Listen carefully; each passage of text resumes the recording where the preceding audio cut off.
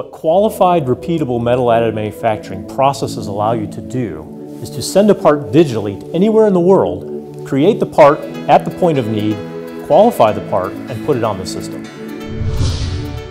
Open Additive is a small business here in Beavercreek, Ohio. We're focused on metal additive manufacturing systems, sensors, and applications development. This is our Open Additive Panda metal 3D printing system. It's a laser powder bed fusion platform with integrated sensing and analytics for making parts of all kinds of varieties. Open Additive's product line is focused on laser powder bed fusion, which is a metal additive manufacturing process that uses a laser to selectively melt powders in a layer by layer process to build up a three-dimensional part. We actually are working on a project right now for the Air Force Lifecycle Management Command to put a system in a containerized structure that can be shipped worldwide and used at points of need. The advantage of Open Additive is that our systems are adaptable for customer specific needs. The machine control software itself gives the end user a number of different ways that they can control how they want to build their parts without having to involve us as the originators of the system. Our Panda platform options are currently 6, 11, and 24 inches. The 24 inches is still under development.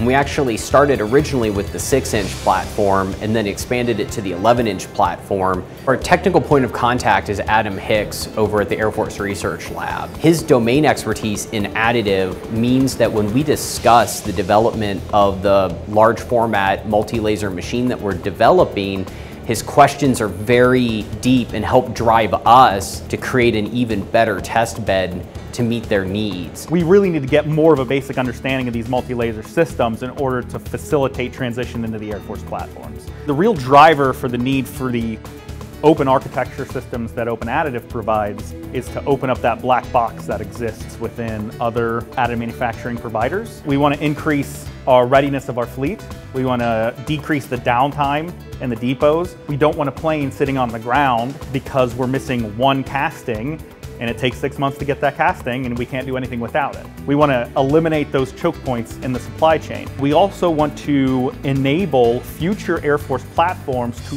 really benefit from everything additive manufacturing has to offer. Lightweight, complex geometries, high functionalization, the SBIR program, I think, is important for our organization specifically because it allows us to interface with small businesses and get our hands-on technologies early on, make them start thinking about manufacturing. It also allows us to see up and coming manufacturing technologies to help influence where our dollars go, making the best investment for the Air Force. Open Additive is really proud to be a US-based manufacturer of laser powder bed platforms, sensing and analytics, and other technologies for the Department of Defense. Our legacy as Open Additive stems from a defense services firm which has been supporting the warfighter since 1961. Now as an independent company, we're really proud to continue to support the Air Force and other Department of Defense agencies to provide metal additive manufacturing solutions to real problems